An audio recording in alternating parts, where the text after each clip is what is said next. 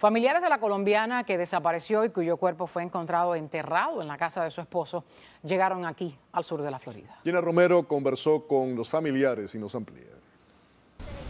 Gracias. El objetivo en estos momentos de varios miembros de la familia de esta madre asesinada y cuyo cadáver fue encontrado enterrado en el patio de la casa de su esposo es tratar de repatriar los restos de su ser querido y también obtener visas humanitarios para los dos hijos de la víctima quienes quieren presenciar el juicio en contra de Roberto Colón, quien fue acusado de homicidio premeditado. América Noticias también pudo obtener detalles espeluznantes de la orden de arresto de este sujeto. Veamos.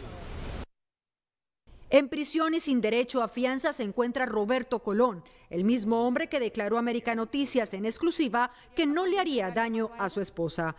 No, yo, estoy libre aquí lo más bien con mi perro en mi casa. Yo no necesito este problema.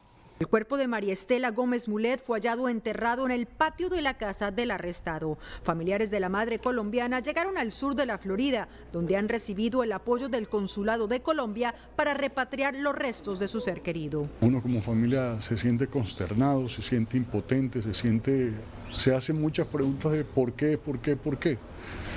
Pero bueno, hoy rodear a la familia, eh, pedirle a Dios fortaleza eh, abrazar a los hijos que hoy quedan huérfanos. No, de verdad lamentamos mucho lo que pasó, toda la familia está muy, muy confundida, muy apesadumbrada. De verdad esto parece una, una historia de terror, pero tenemos que salir adelante. Documentos judiciales señalan que ocho días después de esta entrevista, las autoridades hallaron el cadáver y a una milla de esta casa la cartera de la víctima ensangrentada junto con esta cadena que tenía una cruz. Fuentes de América Noticias informaron que la víctima fue golpeada con un objeto contundente y el cuerpo arrastrado dentro de la casa hasta el garaje donde finalmente fue descuartizada. Detectives de Boynton Beach hallaron rastros de sangre en la puerta de la casa, en el piso, ventanas y en el techo de este cuarto oscuro. Por su parte, el acusado de 67 años señaló que la sangre pertenecía a uno de sus perros que resultó herido y que en el patio había enterrado varios animales. En el momento en que usted observó la entrevista del señor Roberto Colón, ¿cuáles fueron sus sentimientos usted a escuchar su voz tan fría y relatando que simplemente él no sabía dónde estaba ella?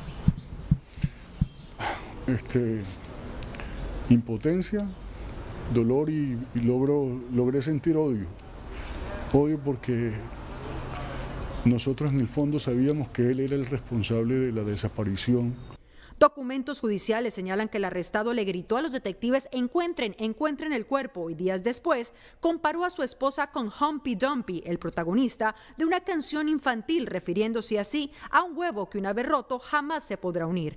Mulet desapareció el pasado 18 de febrero después que manejara desde Hialeah a Boynton Beach y a su llegada mientras hablaba por teléfono con una amiga gritó Roberto y el teléfono se apagó. La víctima, quien le sobreviven dos hijos, cumpliría 45 años este próximo 15 de marzo. Y Roberto Colón deberá comparecer nuevamente en la Corte el próximo 5 de abril, donde será instruido formalmente de los cargos de homicidio premeditado. Para América Noticias les informó Gina Romero.